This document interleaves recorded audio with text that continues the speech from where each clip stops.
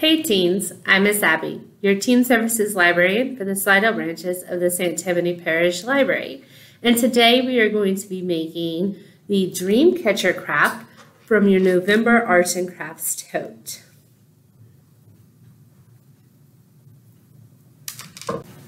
Before we get started, let's go over what the Arts and Crafts tote is. So the Arts and Crafts tote is one of our two free teen subscription totes that we have available here at the St. Tammany Parish Library for teens between the ages of 12 and 18.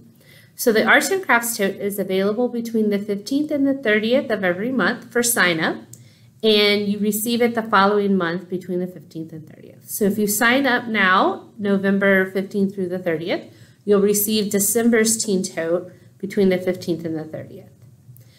Similarly, we have the book tote, and the book tote you register for between the 1st and the 15th of every month to receive the following month between the 1st and the 15th. When you register for that tote, you'll be asked to pick between two themes for the month, and you will receive two books to be checked out that fit that theme.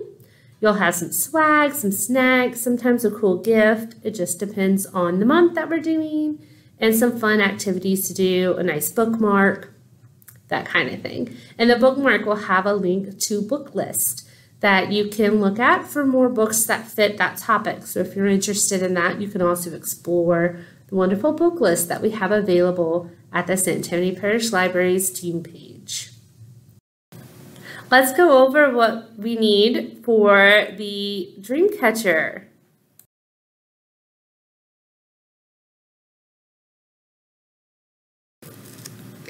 So in your teen tote, you will have all of these materials. If you did not get a teen tote, you can certainly make this from a quick trip to your local craft store. So in your tote, you will have a hoop, some leather cording. I have it wrapped on a popsicle stick. You'll see why later. An extra popsicle stick. I'll explain why that's there as well. A skein of embroidery thread some feathers, tape on a piece of wax paper, and some beads. Not in your tote, but you will need a pair of scissors. To begin, let's start with your metal hoop and your leather cording. So I have a piece of tape on your leather cording that's just to hold it on so it doesn't come unraveled. When you pull it off, you're going to see that it's going to start coming undone. And you might want to save this tape to this side. You do have more tape you can use, but why waste that piece if you don't have to? So I'm going to undo a little bit of this because I want kind of a six inch little tail. So about this much when I start. So I'm going to come right here on the top or wherever you want. It doesn't matter where you begin. And I'm going to start looping my yarn around, my cord around the hoop. Now you want to make sure you don't twist the cording so that it lays flat. Oop, I got a little ahead of myself, doing a few too many. Let's back it up. All right, so you want to make sure you don't twist the cording so it can lay flat. And I'm going to do two or three little sections here. And then I'm going to take that tape, holding my cords tight, and I'm going to tape that part down. You're going to remove this tape later so it does not have to be perfect. You just kind of want it to where it'll hold that cording so you don't have to hold everything at one time. Trust me, you'll see how much easier it's going to be. So I have that kind of firmly done, taped down, just like that. And then I'm going to continue with my cord, wrapping it around. So I have it on the popsicle stick to make it just a little bit easier for you um, so it doesn't get tangled as you go. And as you're going, make sure you keep these cords nice and tight together.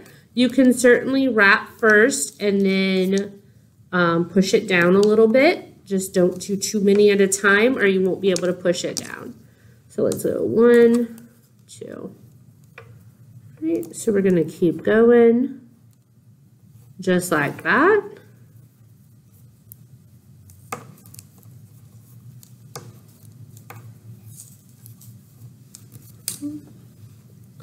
And make sure this doesn't get tangled. Again, that's why it's on this, you don't have to keep uh, gathering it up. And you can hold it all in one hand if you want. I like to just continue wrapping and then make sure I undo it after like three or four. And you're going to keep going. You want to keep it nice and tight just like that. See, I'll push that down real quick to keep it nice and tight. That's all you have to do. And we're going to do that until you get back up towards this T. All right, so I'm going to take a second and I'm going to get it all the way to the end. Do this at your pace. It doesn't all have to be done right away. Um, if you want to do it in segments and then come back to it, just use a piece of your tape to secure where you're at and then come back later and remove that tape and start again. All right, so I am all the way back up to the top of mine.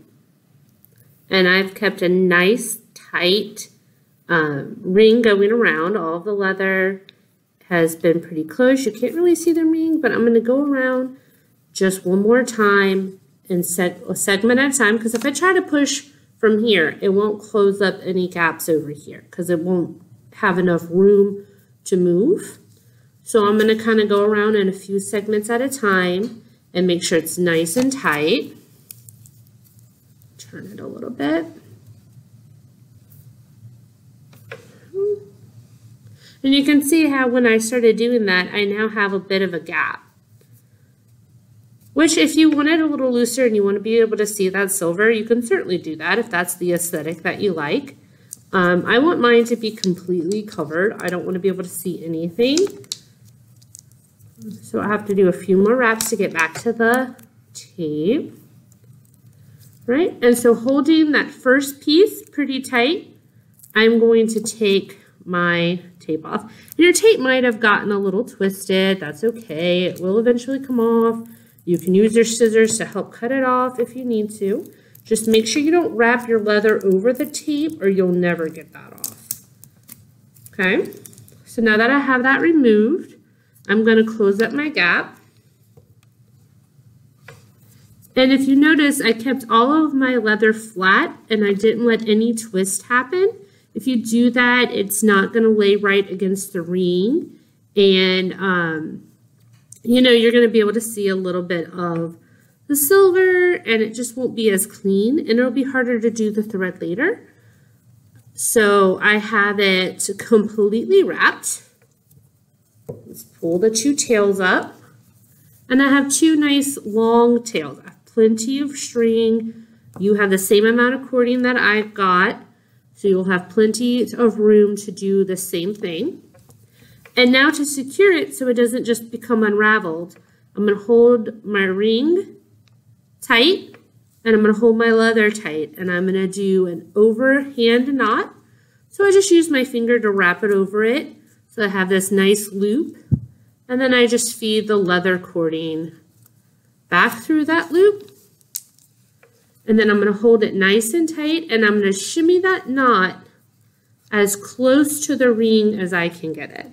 So it might take you a minute. We're just going to shimmy that knot down as close to this ring as we can go. So I need a little more slack so that I can pull this through. And I'm going to pull that knot down. And you can get a parental unit to help you with this if you're struggling. If you don't get it to as close as you'd like, you can certainly spread some of that extra space around the ring so it won't look so startling. But try to get it as close as you can. So I got it down pretty good, I think. I have a nice little overhand. It's pretty close to the ring. So now that that's finished up, I can move on to my next piece. And if you want to go ahead and secure this and do an overhand knot at the top, you can. And then trim your excess leather, or you can save that to the end. I kind of want this out of the way, so I think I'm going to go ahead and do another overhand knot towards the top of my cording. And you want to have enough on the other side so that the tail can come back through. So again, I wrapped it over my finger. And then I'm just going to pull it back through the hole that was created by wrapping it around my finger. And make sure both of them go through. Ooh, one's a little short, so it didn't go through quite as well. So let's make sure both of them go through. And then you just put that knot wherever you think. So that's plenty long enough, I think, to hang. If you want it on a doorknob, make sure you leave enough room to be able to put it on your doorknob. If you want to hang it on your wall, which is more traditional, or your bed headboard, which is more traditional, then you don't need as long of a string of a cord. So then I'm just going to trim this up a little bit.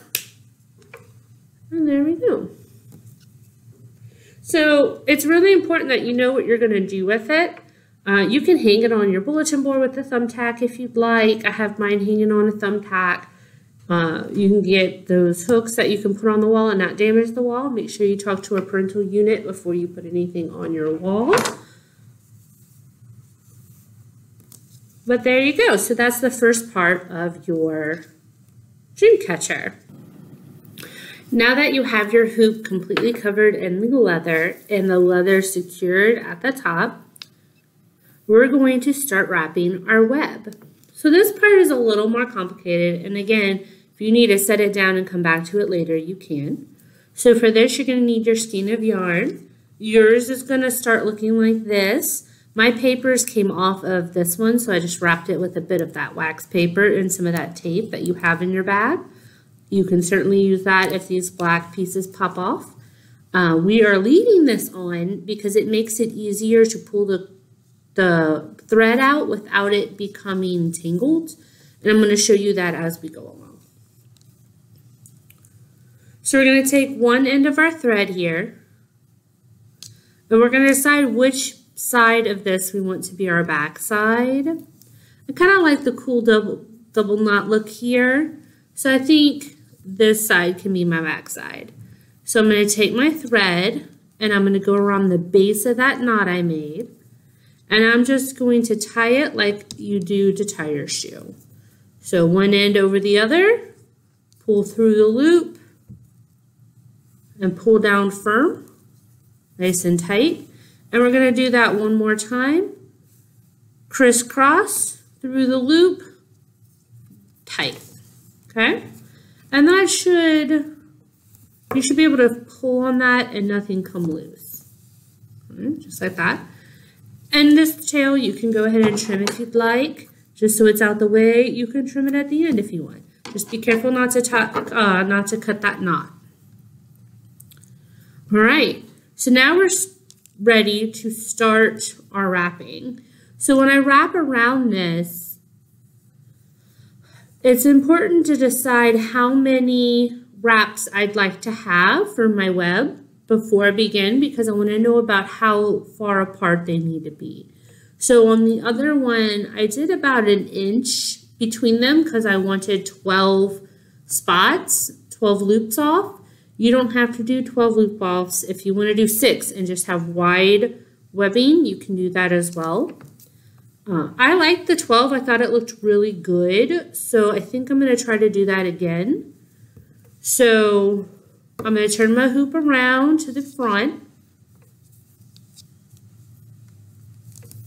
And this is how I'm going to start my web. And I'm going to go counterclockwise instead of clockwise. If you like going clockwise, you can do that as well.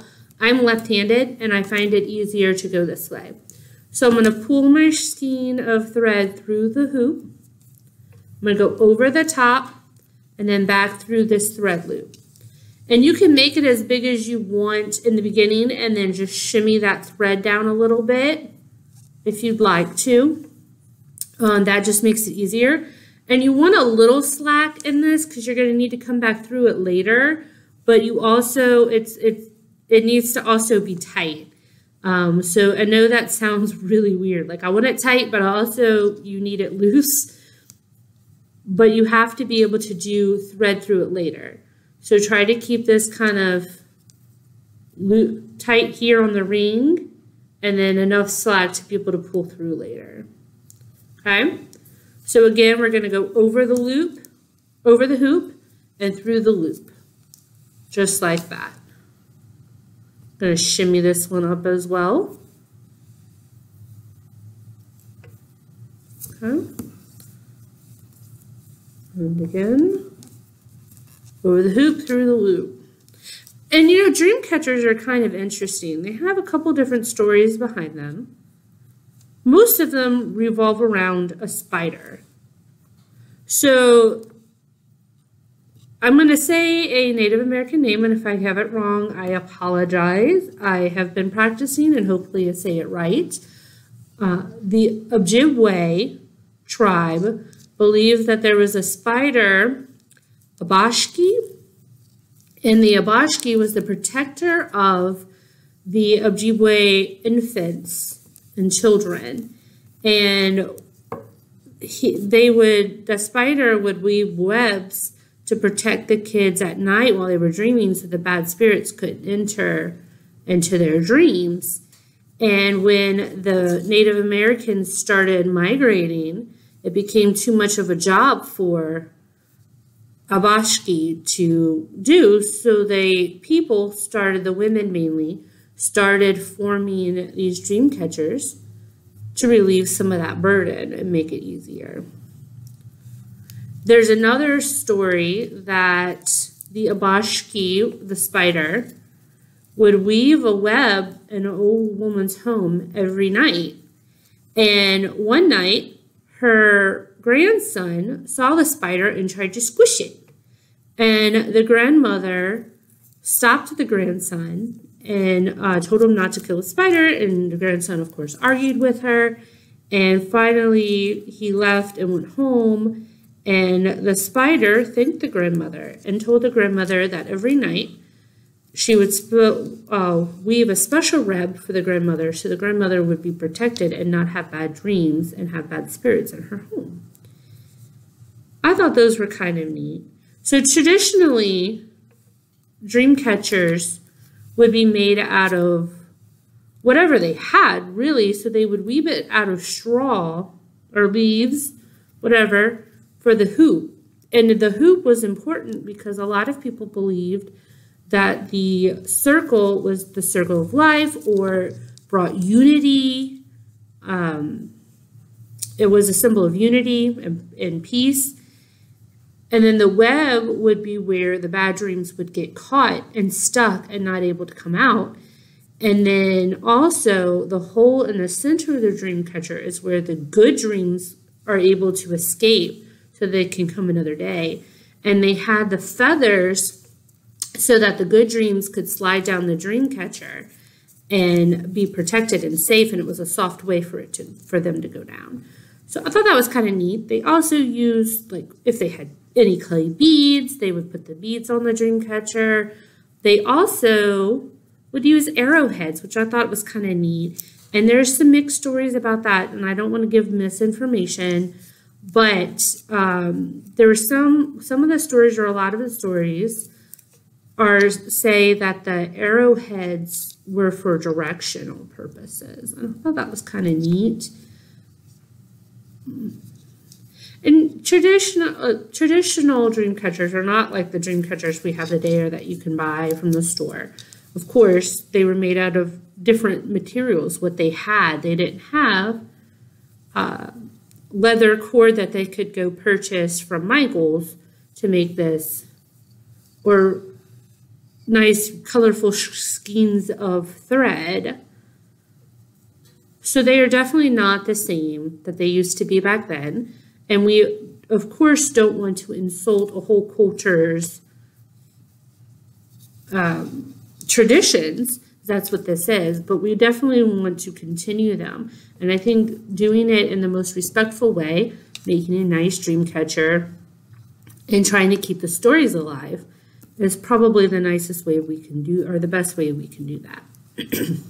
so I wanted to have 12. So let's see how many got. 1, 2, 3, 4, 5, 6, 7, 8, 9, 10, 11, 12. So I did a few too many, one too many, but that's okay. We'll do, I think 13 is considered a bad number. So let's see if we can take one of these out and we're going to scooch them down a little bit because I don't want to, I don't want to have a bad, I don't want to start my dream catcher on a bad note, right?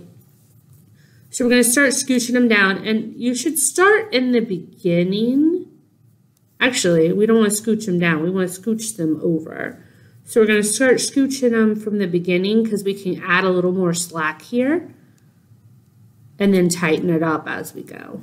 So let's come through, add a little slack, and then we can tighten it up and we'll get them where we need them to be. So I need these rings to be just a tad bit wider than I had them. So we're going to go back the other way.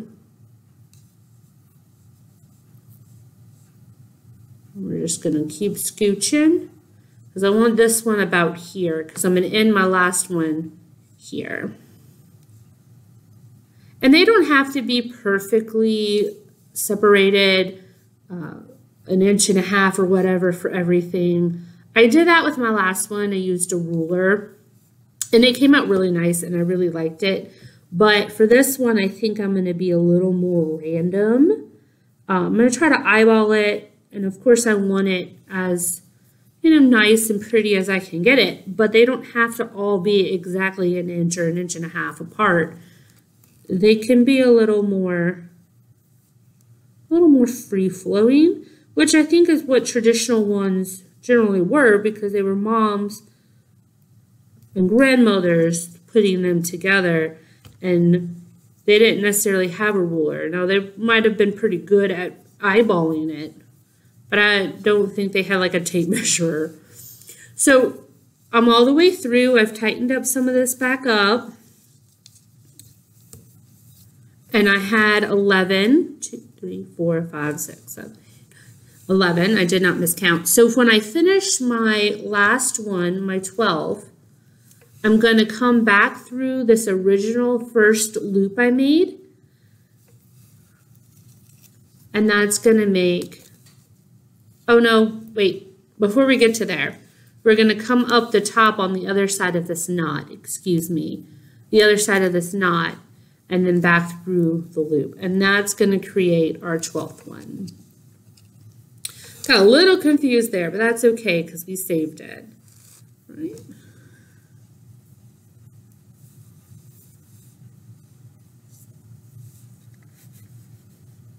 Okay, now that we have our first row around and everything is pretty tight, there's a little bit of slack in my thread, but not a whole ton. Everything looks pretty, pretty flush up to the ring. I'm going to come back through and to do my second row, I'm going to go through the first. So the same as I did before, but instead of the hoop, I'm using the thread. So I'm going to go over the thread So this part gets a little tricky because I'm trying to force all this through. And this is where that paper really helps because I was able to fold and come in at one of the paper pieces. And also, if you've noticed, as I'm pulling the thread out, I'm pulling it, sorry, I got a little, little jammed here. I'm pulling it through the paper and that's keeping it from getting knotted. It's coming straight out when I pull it from the paper. So just like So that's nice because it keeps it from getting too tangled.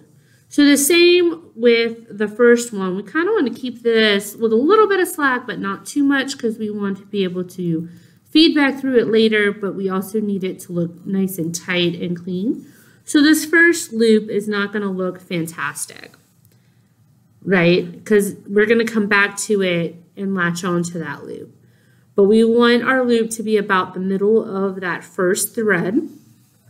And we're going to keep going around just like that.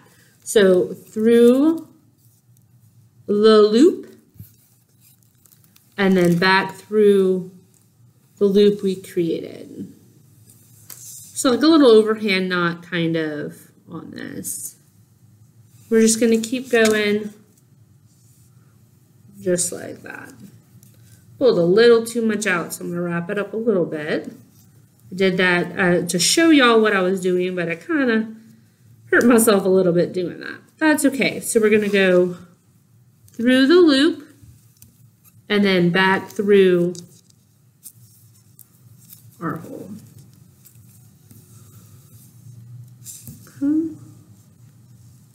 And again, we want to be about halfway through the thread.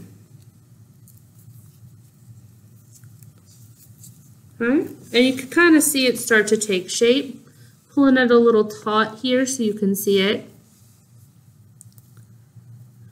And we want to keep that tension kind of going. You don't want it super tight, but you need to keep some tension so that you can see the shape going through.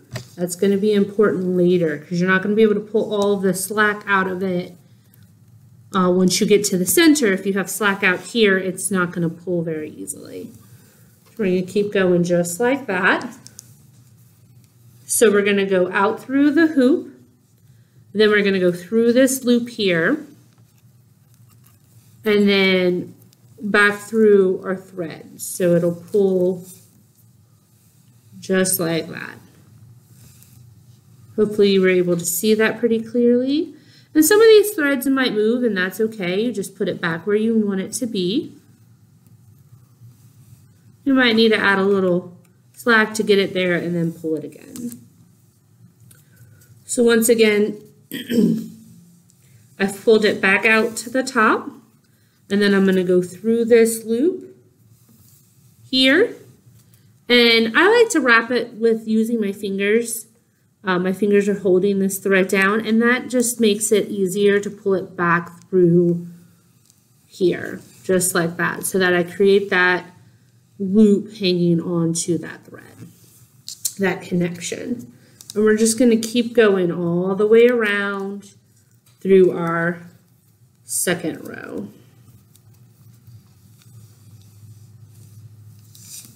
Just like that. And this is the technique we're basically using throughout this entire dream catcher. There are other uh, web creations or, or other designs that you can use. I am a big believer in learning the basic before going crazy, but you can definitely Google those if you want to see some neat ones. Uh, they do like flower patterns. They've done stars, neat looking mandalas, but those are definitely a lot more work than this basic one we're doing. So I did 12 points around my circle.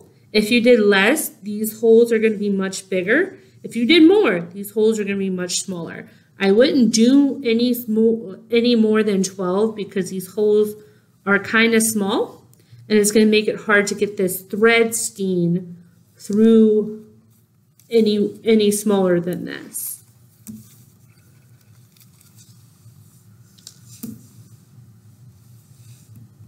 And I do believe, I don't have all of the information about that with me right now, but you can definitely look that up.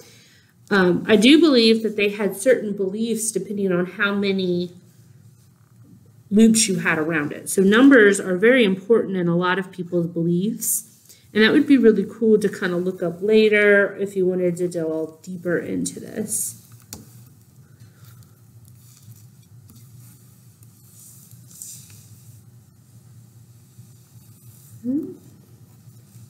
So I'm almost back up to my top. And it takes a minute to do this. And my first one, it was a little bit harder because I had never done this before. I've done a couple of them, so it's gotten easier with every one that I've done. And that's the point of doing these teen crafts, right? It's showing you a new hobby if you like doing it. And people do sell these on like Etsy and they add cool baubles and different ribbons to them and make them look really neat. I think I messed this one up. I did. All right, let's go back and fix that. I think I fixed it. There we go. I forgot to go back through my thread that I, yep. Okay. There we go. All right, so now I'm back up to the top. Hmm. I'm back up to the top. So what I'm going to do to start my third row is to go back through this first loop I created at the top, the one that didn't quite look right. And I'm going to go back through that one, and that's going to start my third row. And these are going to get tighter as you go around because the holes are smaller. So it'll get a little more difficult as we go. So we're going to go about here. And I think I do typically four or five rows. We'll see how many we get through. And if you don't want to do that many, you don't have to. You can have a big old hole in your dream catcher if that's what you like. It's up to you. Traditionally, the hole was smaller so that only the good dreams could get through. So do keep that in mind. And it was also believed that the bad dreams would be caught and then the sun in the morning would perish them. So they would they would burnt be burnt up in the sun or whatever the belief was.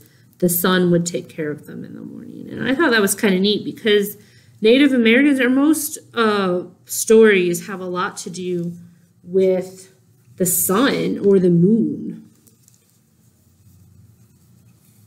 A lot of their beliefs ran around that, or even in different mythologies, the sun and the moon is very important.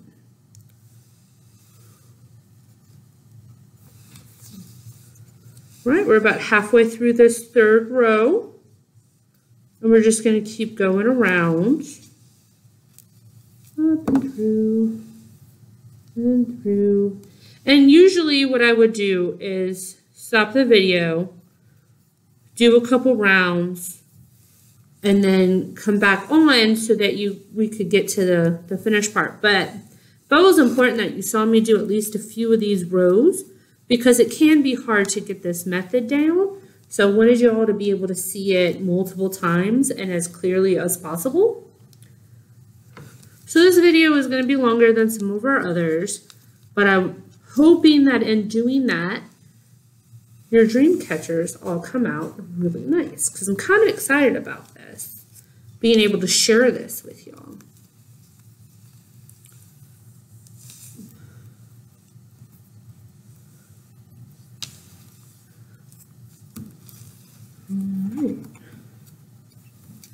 Almost all the way around for the third time.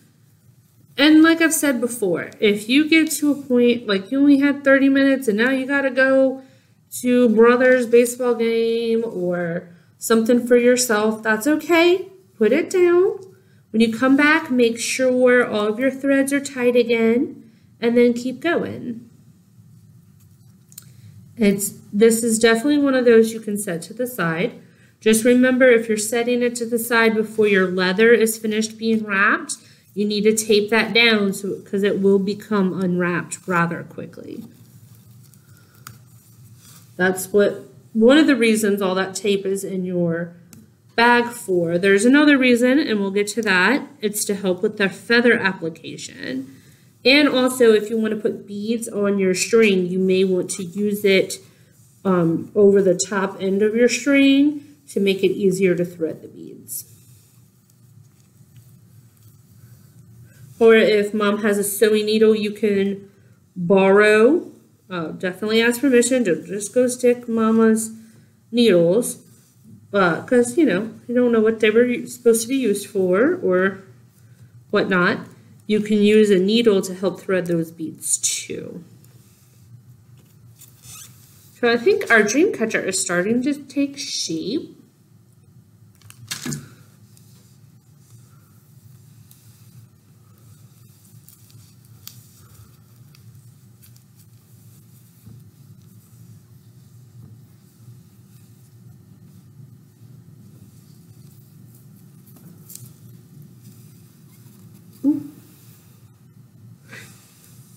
Oh, I thought I skipped one, but I didn't. My thread just went over to the end for a little bit. So now I'm all the way back up to the top. So I'm going to start my fourth row Again, using this first loop and coming all the way around.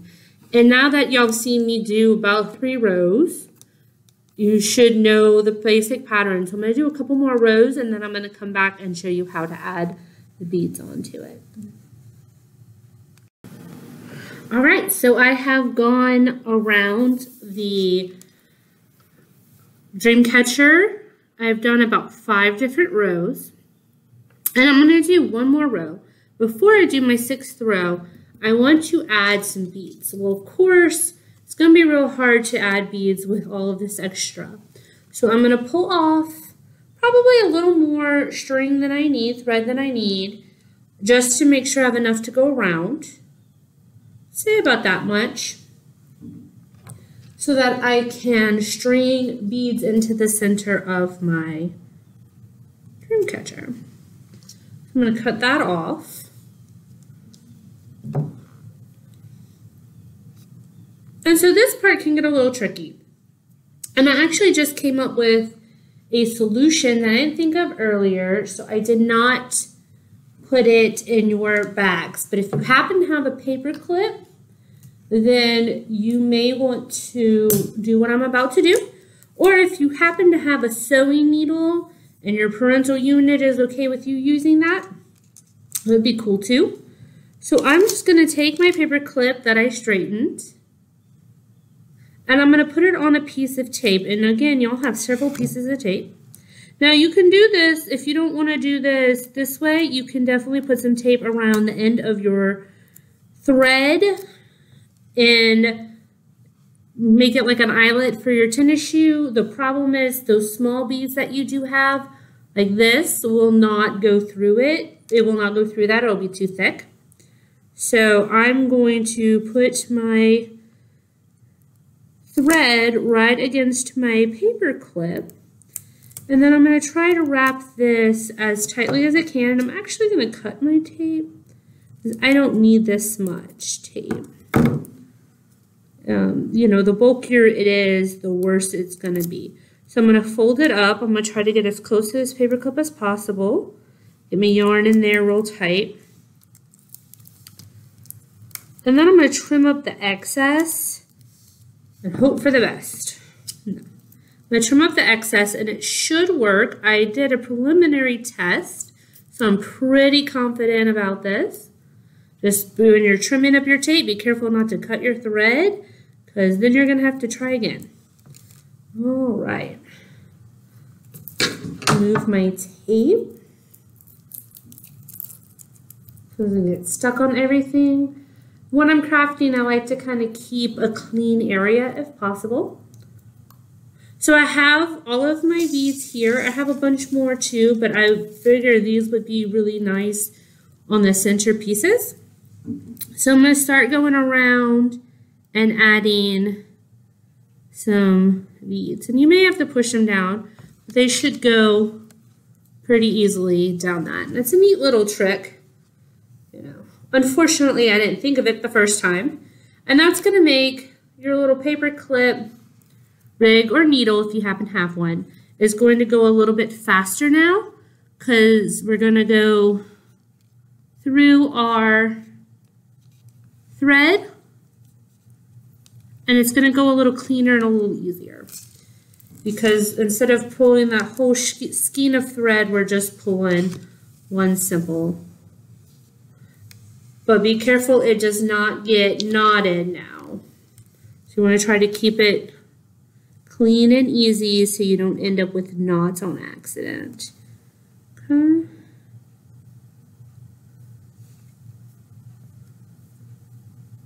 Alright. So now I have a little bead. So I'm going to keep doing that around. Say maybe uh, some clear beads too. So maybe we'll do a clear bead for the next one.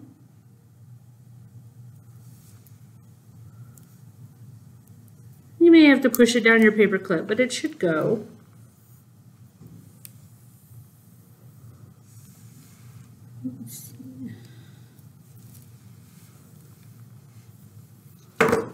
And remember to keep it nice and tight. If you want to do more than one bead on your yarn, you can. That is absolutely okay. Or if you do the sixth round and you decide you want a seventh round with more beads, you can do that too. If you started doing this in the beginning and you were like, oh, what beads in the front? Go for it, um, but it's going to take a lot of extra yarn and you may, are a lot more thread than what I'm pulling through now. And you can see how much, a little bit more work. So if you have that much more, you know, thread going through, it'll take a lot more care. To keep it from getting all knotted.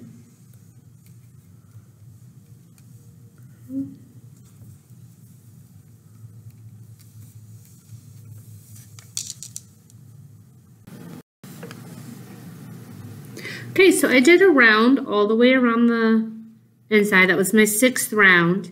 And I did it with every other one having a bead on it. So I went completely around and did every single one. And then every other one I skipped and put another bead. So I really like the way that it came out. But I feel like it could use maybe another round not sure. What I think I might do for this one is skipping every other one and then putting a bead on that, meaning not doing every one. So I'm going to skip the one here with a bead on it. And I'm going to put a bead, I'm skip the one with the bead on it, and I'm going to go here. Let's see. Let's see what it come, looks like because I can always read undo it, right? These are simple knots. They come out pretty easily, so they shouldn't be a problem. So let's do every other one and see what that looks like. Or if you wanted to do two beads on each each one and then go in the middle of them and tie another, you could do that too. I'm going to see what this looks like because all I have to do is put my paper clip back through to undo it. Just be careful not to get your, your thread all knotted up. And if a small one come, comes in it, usually they're pretty easy to pick out. Let's move that. Let's see. Oh, I kind of like this, I think. And maybe we'll do a an eighth row with beads on it too. Maybe we can use some of the bigger beads. Let's see. Oop. I forgot to go back through, so I'm going to fix that.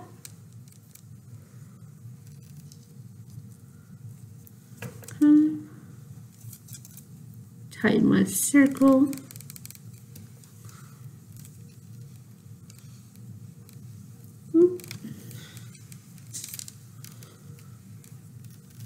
Just like you're sewing.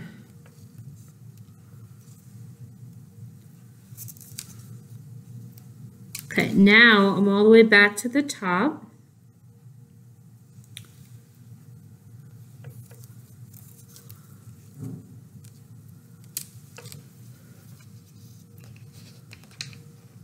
So I can certainly leave it like this and tie it off if I want. Or if I want a little more pizzazz, I can do another round here in the center.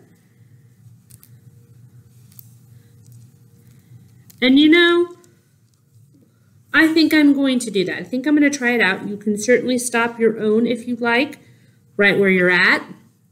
I think I'm going to do some bigger beads in the middle. Maybe make it a little more decorative. Let's see what we can we can do here.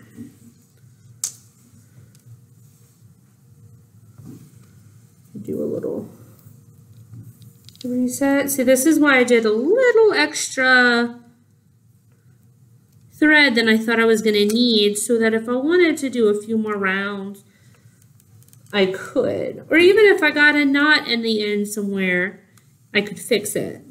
Let's see, I kind of like that with those three beads there. So let's see. Let's keep doing that because I think this is kind of neat.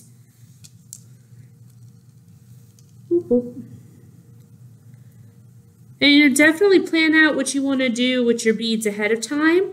Um, everybody got a handful of beads, so you should have plenty to kind of get creative with.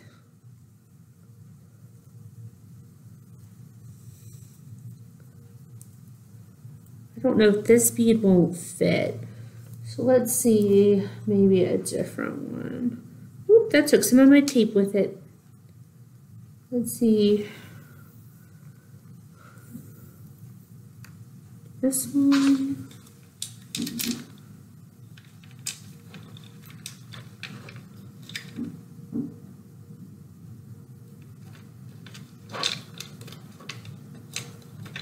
Well, one second while I pick out another bead, a new bead. Then a little different we're not using. What are these maybe? Let's see. Let's see if this works. Hmm.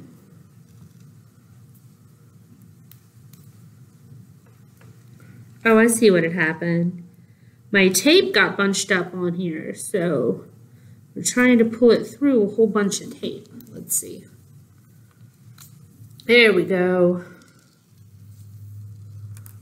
And if that happens, you can definitely snip the end and then retape it. That is absolutely a possibility. I'm almost done, so I want to see if I can just get it through done. And then I'm going to redo this same contraption, but on a different piece of thread. And you will see that when we get to it. Yeah, this isn't working.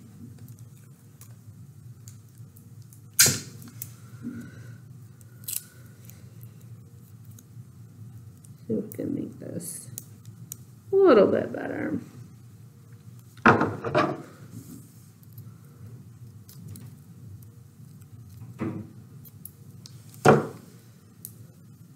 Okay.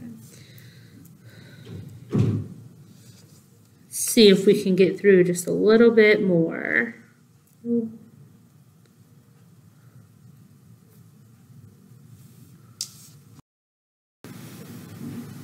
All right, I took a quick break and redid my needle and it is now working. So I just took the old tape off and retaped it. It is going really well.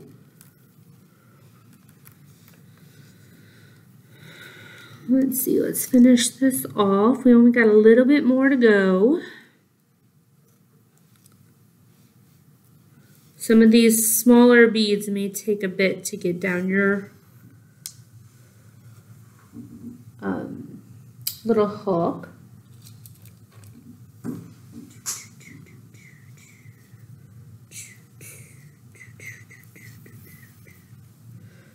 All right.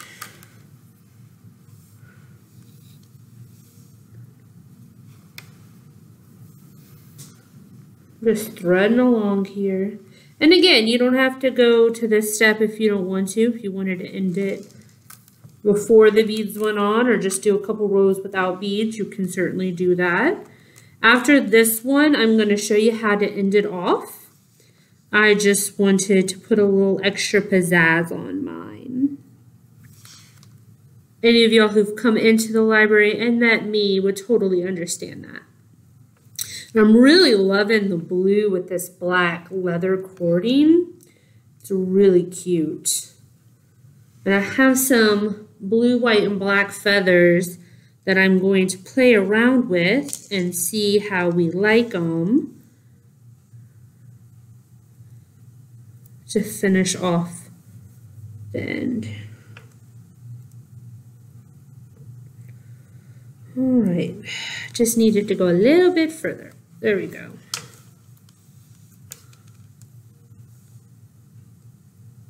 So as you can see, this paper clip works pretty well. You do have to push on it some. Ooh, some of my thread came out. I spoke too soon. Spoke entirely too soon. Hold on.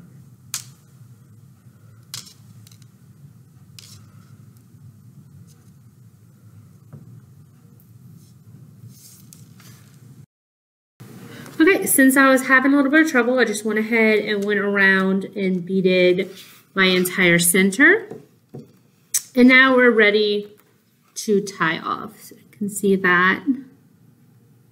Kind of put that through. So I went through all the way to the center one. And what I'm going to do is come to this next knot right here.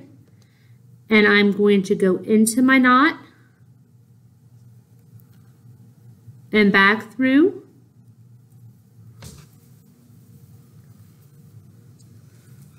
And I'm going to pull, roll tight, and try to kind of tighten up that circle here.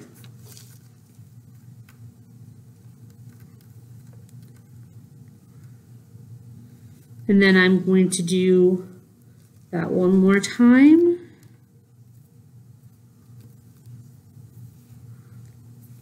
Coming through to the center here. And now when I do it,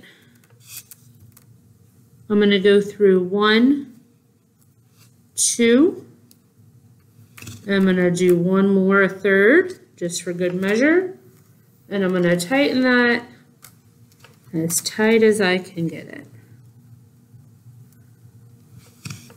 I'm going to keep pulling until it gets nice and tight because I want that knot to be nice and snug. Mm -hmm.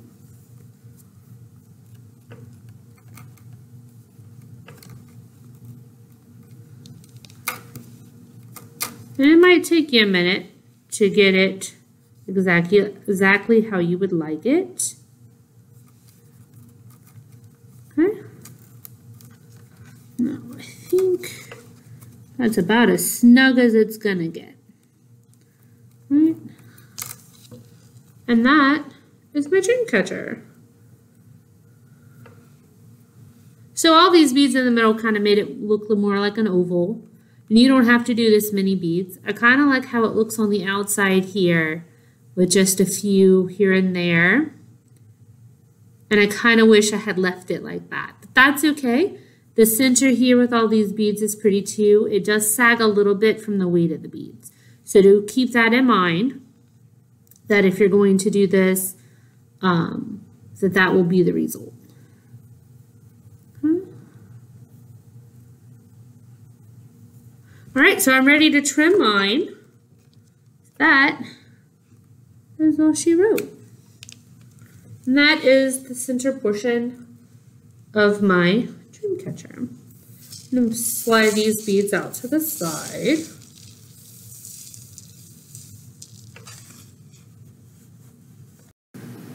All right, now that we have all of our weaving done, it is time to make the tails. And you don't have to do as much beads on here as you want. If you want to be able to see the threads, you can.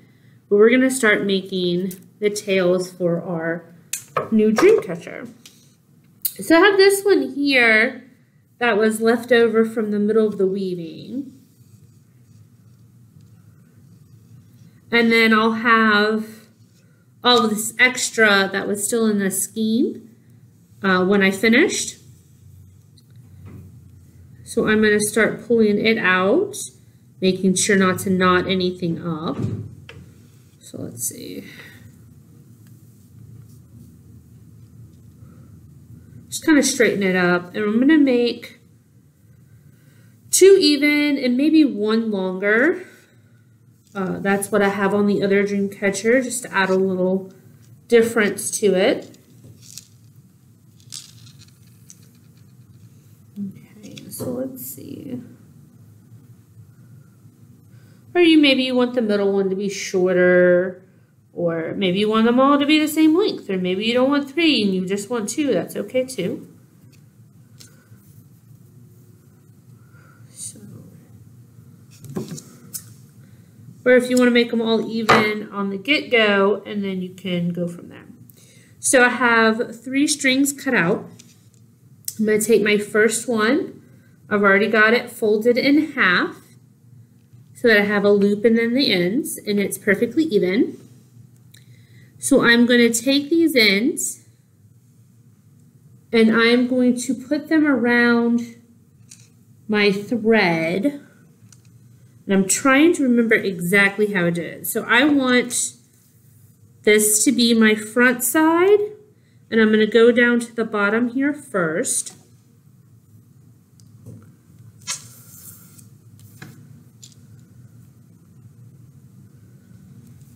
And what I did was split my threads up. I think I did it this way. So I want to pull them through so that the loop will be on top. And I did it on either side of my weavings on the hoop. So just like this. And then I'm going to take this loop and I'm going to pull them back through. Okay. And then I'm going to slide them down and they'll go on just like that. And I kind of want them to where the black won't show, so I'm just moving this around.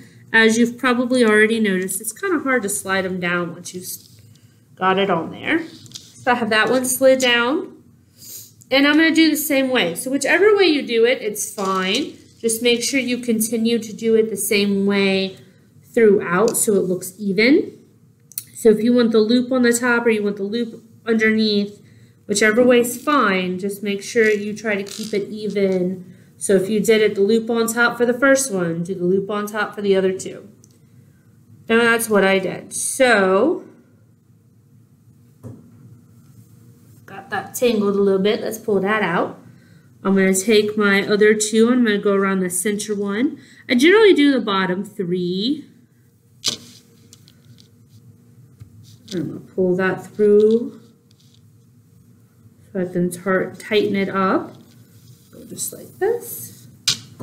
I'm to slide that down all the way to the loop. So it just looks like one nice wrap. Okay. I like to keep that binding to the back so nobody sees what I did. Okay, and then my last one. Going to be only, yeah. So you can do the same thing that I did on the other, which is using that paper clip to make it easier to thread beads. It's up to you. I like to thread them with the two strands together. So that would definitely be helpful for me. If you want to do beads on separate strands, you can certainly do that too. Um, most of the wider beads, you can do that without using the paper clip. I just find the paper clip makes things a little bit easier. Okay, so by that I mean, instead of having two strands of beads here, I'm going to have one strand of beads. And I'm actually not going to do a ton of beads on there. Um, I did beads from the loop all the way to the feathers on this one, and I like the way that it looks, but I kind of want to do something a little bit different on this one. So I'm going to take my paper clip, and I liked this paper clip because it was one of the smaller ones, and it was just easier, the shorter length, and it was easier to straighten. It's whatever you like. Take me a piece of tape, just like I did before. Oh, I messed up that piece of tape.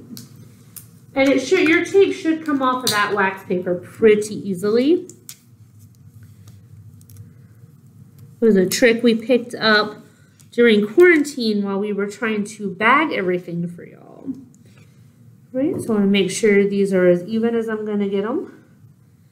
And I don't want to go all the way to the end of the thread anyway, because I'm going to use the thread to also put my feathers on.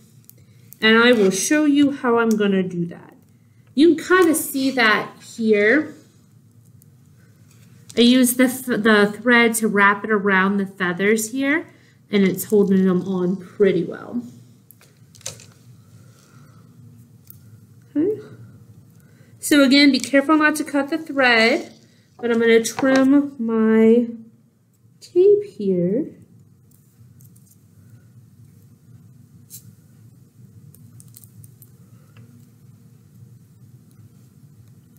So that it's easier to get it through the beads. And I think I'm going to use mostly thicker beads. You have some skinny beads, you have some thick beads. Play around with it, have fun. Trim out this thread. Play with it, have fun, do what you like. I think I'm gonna do, let's see. All right, I think I have a bit of a plan. So I'm going to start stringing. I think I'm going to do a few seed beads if I can get them on.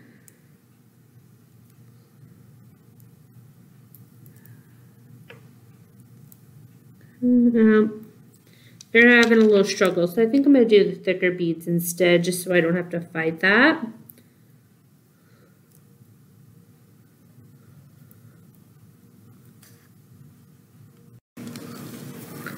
All right, so I strung the beads how I'd like them on this one. But I don't want to keep going any further. I like it as it is. So I can leave it nice and tight up here and I can do my feathers right underneath it make it super short. I can squish it down a little bit, tie a knot here, or just leave it and tie a knot at the bottom and then do my feathers there and have this blue here. Or if I want to keep them suspended, I can tie a knot here and then come down and do my feathers a little further. And I kind of like the idea of that. I'm not going to worry about a knot up here because when it's hanging, the gravity will keep it pulled down. But I am going to go ahead and do a knot here. And that's just a quick overhand knot. And I want to keep, the trick here is to get it to where you want it.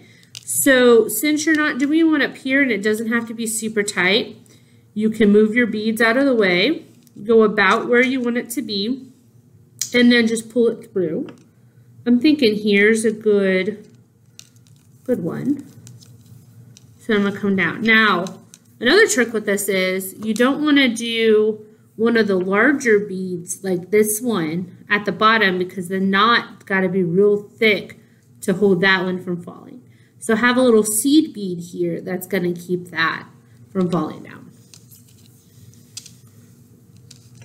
So I'm going to go through and I'm going to go ahead and do my beads on all of these. And then we're going to come back and fix your feathers onto your dream catcher. All right.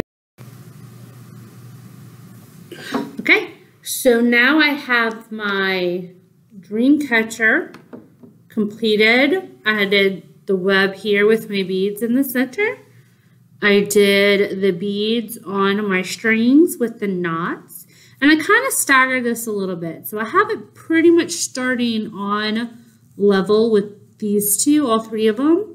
But I have the middle one kind of going down a little bit more because I want the feathers to dangle just a little bit further. And may even put a few more feathers on there. So I did not catch, cut any of this extra string yet because I am not completed yet. I'm going to use this string to help attach my feathers onto it. So let's start with our feathers. So I have lots of different ones here. So the first part of it is to figure out what I want it to look like and how I want them to go. So let's start kind of sorting it out. And you have certain feathers in y'all's bags. I picked them out for you. Hopefully you like the color coordination. And you don't have to use all of them. You don't have to use any. If you just want to do lots of beads on yours, you can do that. If you don't want the dangles, you don't have to. Remember we said the thought process or the reason for the feathers was so that the good dreams had something soft to go down so that you could have them again later and they would be safe. But if that's not what you want, then that's okay too. You don't have to have feathers. Or if you're allergic, please don't use them. Let's see, let's do maybe the blue, the white, and the black in the center. Kind of like that. Has some good length to it. There's the blue and a white.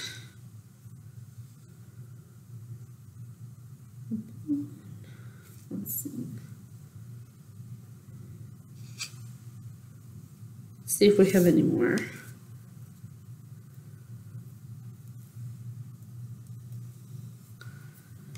Maybe I want two black ones kind of in the center. So just kind of map it out however you think you'd like it. Let's do it this way. It's too even. You don't have to use all of them. You don't have to use any of them. That is up to you. So these are the three sets that I want to do. I have three strings. And you're going to take some of that tape you have on your wax paper and you're going to use that to bind the feathers together. So let's kind of move these out of the way. We'll get back to them in a second. So I'm going to take these three and I'm going to lay them on the tape how I want them. And it's going to take up a little bit of the tip of the feather and that's okay. Oop, that one was turned backwards. No, that one's right. Let's see. Want the white to show, want the blue to show. Or do I just want black in the center? Let's just do black in the center. And let's do white and blue on the edges. Kind of like that. Okay. So then I'm just going to take my tape and I'm going to do one fold this way. And I want to try to line that tape up as much as possible. But if you have a little bit of the sticky showing, it's okay. Remember, we're going to use the string to wrap what's left of the thread to wrap around this tape, okay? So I'm going to I have it folded in half here, but I have a little bit of sticky, and so now I'm going to just try to tighten that up and make it as small as I can. Be careful not to break your feathers, the center spine. Okay Keep it as tight as I can get it. It doesn't have to be super tight. And then I'm going to trim this excess up top. So have some right here that the feathers are not in, just the tip of it. So I'm going to take my scissors and I'm just going to trim here. It doesn't have to be perfect because you're not going to see this part. You're not going to see this part. And that's just holding the feathers firmly together. So that was the string. And then I'm going to do my center one.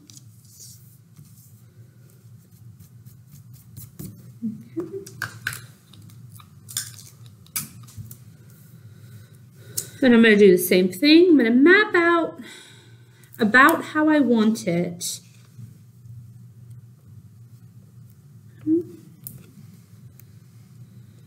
Hmm. let's see. I have some smaller black ones. Let's see how we like that. Maybe one here. And then hmm, maybe one more behind it. Let's see.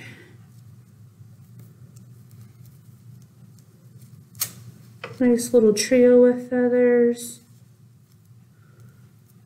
It's really pretty. I think what I'm going to do actually for this one, it's okay to change it. That's what I'm doing. I'm changing it as I go and deciding how I like it or what I don't like about it. It's not permanent yet. It's not on my dream catcher. You can change your mind at this point. I'm going to do the long one, a short one. Another long one. And I'm just going to pile these feathers together. So this is my center one. So I can be a little bit bigger. I think I'm going to do all black in the center.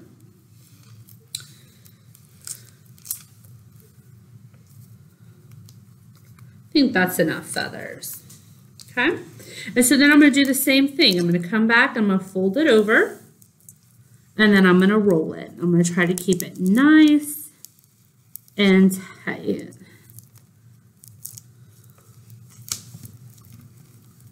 But again, it's not the final look, it's not the final result. So if it's not perfectly tight, it doesn't have to be. It is okay. You won't even see this part later. I'm going to trim the top. See, I have a little piece of feather sticking out. That's okay. No one's going to know any different. That's my center. And then I think, no, that's fine. I'm going to go with these two the other end and one more time. Last time, I'm going to take my tape and I'm going to layer on my feathers as I like them.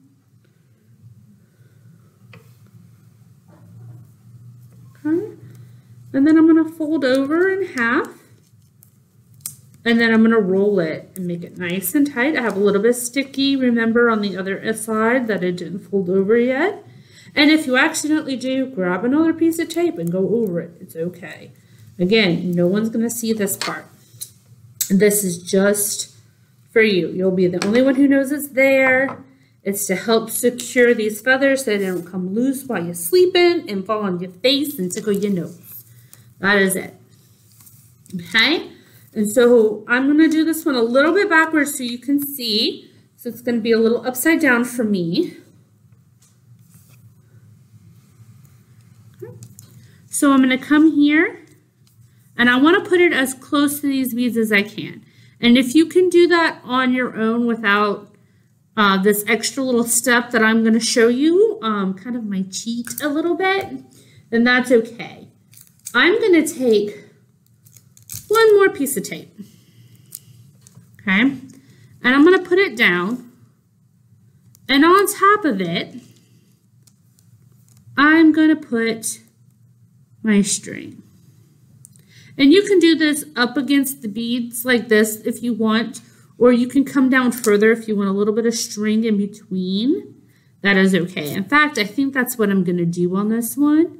Maybe about an inch, inch and a half. Oop. I'm going to put my string on my tape, and I'm doing it on the edge of this tape here. So unlike the other one where I kind of did in the middle, I'm putting this on the edge. If you put it in the middle, you can do the same rollover you did on the with the feathers. And I'm going to put it, again, my feathers against the string here. And then I'm just going to roll it. And I have it at the base of this tape, but if you go a little bit further down, that's okay. Again, no one will know. And that's the beauty. No one will know but you. So we're going to do one more time. And this time we're not going to trim the top. Because if we do, then we're cutting the feathers off the string. And we don't want that. Okay? So we have it, the, the feathers secure on the string right where we want them. And we have all this extra string left underneath it. So we're going to take it, the string, and we're going to start wrapping. You can wrap around the base of the feathers covering up that tape. Like I said, no one's to be able to see it. And we're to go all the way up that tape. Hmm. All the way up that tape. And I really like the ombre effect of this string. It looks really cool. Multiple colors. We're just going to keep going until you're happy with it. Uh, you can go further than tape if you really want to. You may have to do a few wraps because um, if not, it's just going to look a little silly. So I'm pinching this tape in. Oop. Moving it so you can see it. And I'm keeping it nice and tight as I go around. Now you got to be careful with this because at the tip here, it's it might slip off this tape and then it'll look kind of raggedy. See, it just slipped there. So we don't want it to look raggedy. And you can also trim the tape if you need to, or, and my favorite trick, pushing the tape down a little bit to hide it some. You can do that too. And you're just gonna wrap until you're happy. I got that all folded in and all pinched in here, kind of squished down a little bit. I'm to hold that with my thumb and my finger to pinch it closed. So then when I wrap, you can't see it and it doesn't look like it's sliding off. And these threads will help keep that together when I let go. Okay? So when you get it wrapped, this part's a little tricky because you got to hold two, so many pieces. I'm going to hold it down. See how my thread slipped off here. And that's because I was trying to hold it in too many places. So I'm just going to undo it. I haven't tied anything yet. This is okay. And I'm going to go to about where I'm happy with it. And then I'm just going to wrap again. This isn't rocket science. This isn't life or death. If you messed up once, undo where you didn't like and keep going again. It is okay. I promise. Or if you get frustrated with it, set it down for a minute and keep going. Mom called you to do the dishes. It's okay to set it down um, I had to set it down earlier because I am doing this at my job and sometimes things come up and we have to do things. So I'm getting about to the point where it was hard to hold last time. So I'm trying to be a little more vigilant with how I pinch it and where I hold it.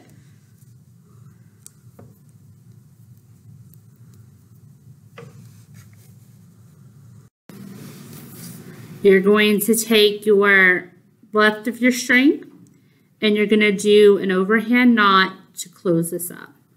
So we're going to go over one more time once you're happy with it and then knot it with your overhand knot and then pull it as tightly to this as you can. And if you accidentally did it and you can see a little bit of that tape, it's okay to maybe wrap another one and then knot again and it's also okay to maybe trim that tape down. But if you choose to trim that tape down, be careful you don't accidentally cut the string. And if you do, that's okay. Just take it off of here and put a new piece on and try again. Okay? Now I'm not going to trim it just yet. I want to finish them all first. Look how nice that looks. And if there is a tiny piece of tape at the top showing, you may not be able to see it when you hang it anyway. So don't stress too much, especially with your first time doing this. So just a quick, that's what that completed look looks like. I think that's quite nice. So I'm just going to continue with my other two. And it's okay if it takes a minute. And I'm going to eyeball about where I'm going to put it. So remember, I wanted this one to be a little bit further down. So I think right about here will look great. So my feathers are going to start right as the feather on this one ended, or the wrap on this one ended. So I'm going to do the same trick. I'm going to take a piece of tape.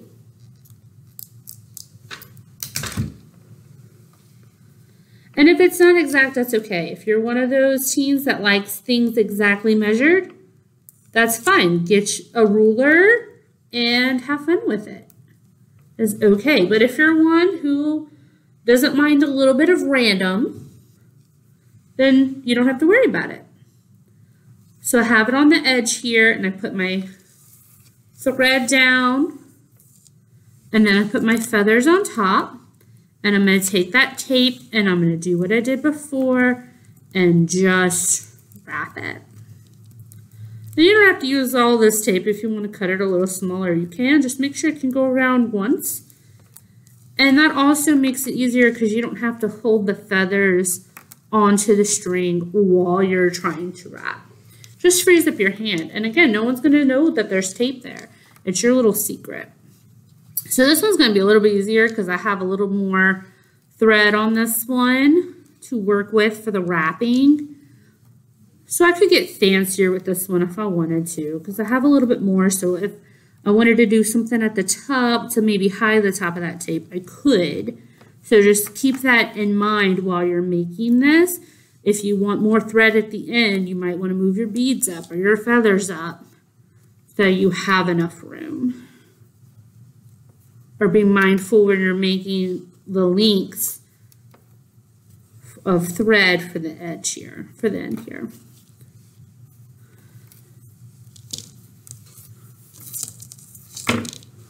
I really like this ombre look here. I think it looks really nice wrapped. It looks cool as the webbing too. So this is really nice. Some of you have ombre thread, some of you have solid. And I like the solid too. I think looks really nice. All of it looks good to me.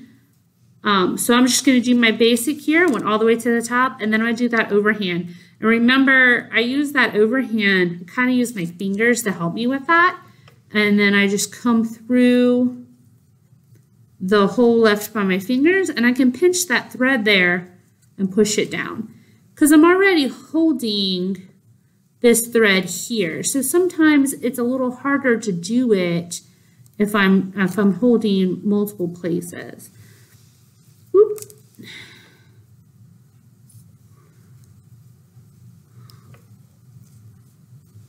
Huh? Ooh. I'm to try to get that nice and tight. And there's that one.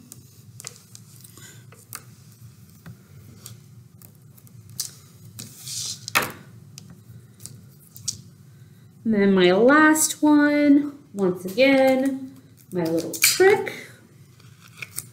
And I'm to go about an inch and a half, which should be about right here.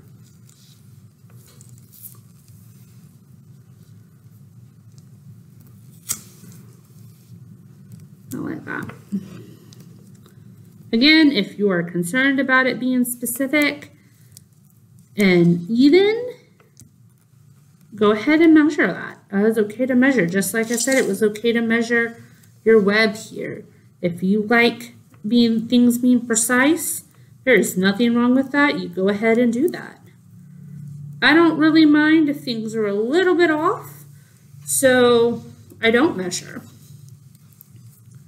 Once again, I did my tape and have my thread out to the side and I'm just going to wrap.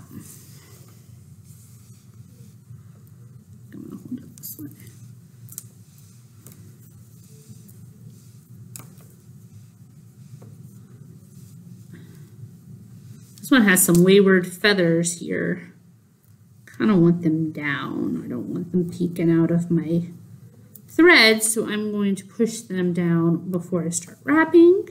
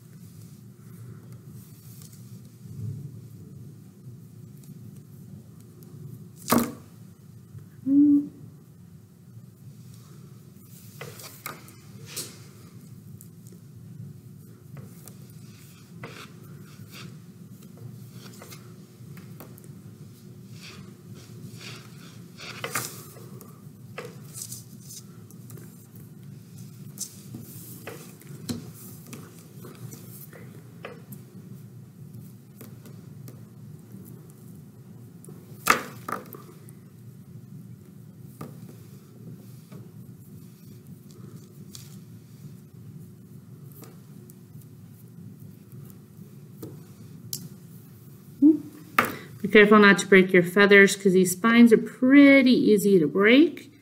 I think I might have pinched one a little bit too tight here. Okay, I'm, um, I'm about where I'd like to be. So I'm going to go ahead and do my knot.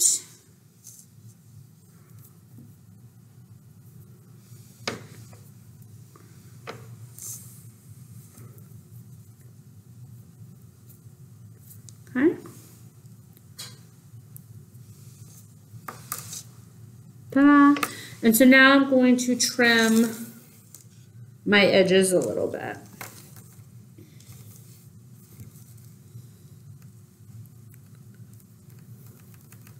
Again, you got to be careful here because you don't want to accidentally cut the knot or the other piece of thread. It doesn't have to be completely flush. You're not really going to see that from hanging on the wall above your bed or wherever you're going to put this.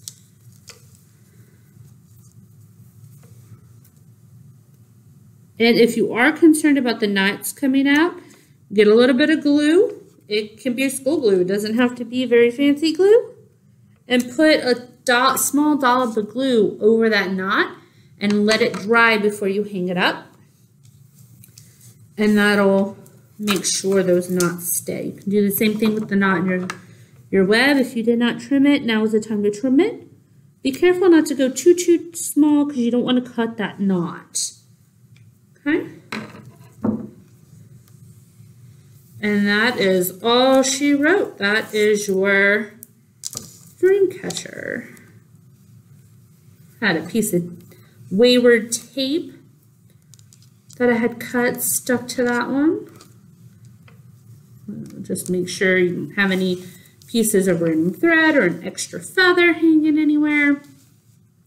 And that is your dream catcher. So your dream catcher should look like this. Or something similar. Uh, this one I put more beads on. I used more colorful feathers.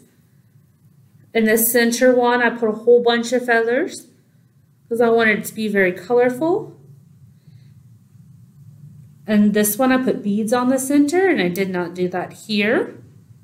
So it's whatever you like. Go crazy with it, have fun, look up different patterns. If you do the first one and you're like, ooh, I want to do another, and you go get the materials, do another pattern, try it out, see what, you know, tickles your fancy on this one. There is no wrong way, really. Um, but remember to be respectful because this is somebody else's culture and we never want to make somebody feel like we're making fun of their culture or inappropriately using their culture or items from their culture.